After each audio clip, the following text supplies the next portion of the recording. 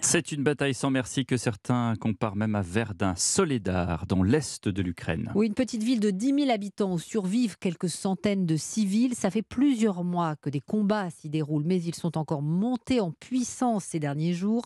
Aujourd'hui, la Russie assure avoir pris le contrôle de Soledar et salue les combattants du groupe de mercenaires Wagner.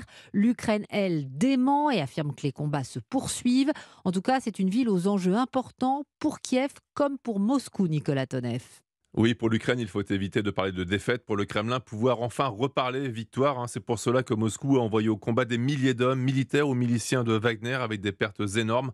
Wagner qui a vite revendiqué la victoire avant l'armée russe, avec un intérêt bien particulier, l'espoir de se rembourser de ses efforts grâce aux mines de sel car en Ukraine, comme en Afrique, le groupe de mercenaires se paie sur la bête.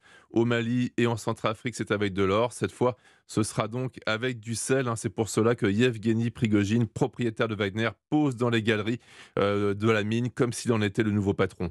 Militairement, stratégiquement, la prise de Soledar seule a peu d'intérêt, hein. sinon compliqué sans le couper. Le ravitaillement ukrainien vers Bakhmut, cité plus importante, dont la perte ouvrirait la route de Kramatorsk aux forces russes.